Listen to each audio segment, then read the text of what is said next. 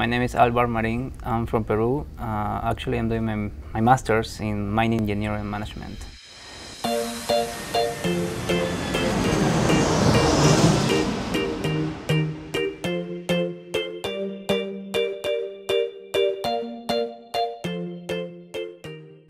At the beginning, I didn't know what to study actually. So my dad, he was working the design of a mining project in Peru. It was a copper project, and uh, he told me about this. And he told me oh, you should try mining. I was like, yeah, sure, I will try it. Uh, why not?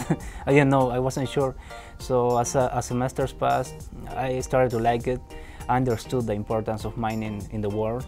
I came here because uh, I got a scholarship basically what caught my attention is that I could do research here and uh, when you do research you get uh, you get funding it helps pay my tuition it helps uh, maintain my uh, living expenses so that's uh, it, it, basically covers all so that's great I, I, know the professors I know who they are they're very uh, supportive it's great that they have like an open door policy like you just can come here and talk to them about some issue you have or some doubts that you have and they, uh, they, they help you instantly, so that's great. It's, it's awesome. I like playing chess. Uh, I've been playing chess since I was six, and I even got to uh, go to tournaments and stuff. I even traveled for chess. Um, yeah, been playing chess all my life. Uh, last semester I was able to like you know go hiking like every two weeks or so. I mean, in Lima, it's like if you wanna like go hiking or do some uh, adventure, you have to go to the central part of Peru, the mountain part. It takes like eight hours maybe.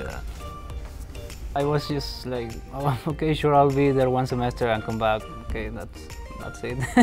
but uh, um, yeah, it was really nice to come back and start doing my masters. It's really important for me, and I'm very excited. if I, I, get an opportunity here, that would be great too because I would like to learn about different companies, different environments, and maybe then come back to Peru um, and have an open mind about that. yeah. So what do you miss the most about home?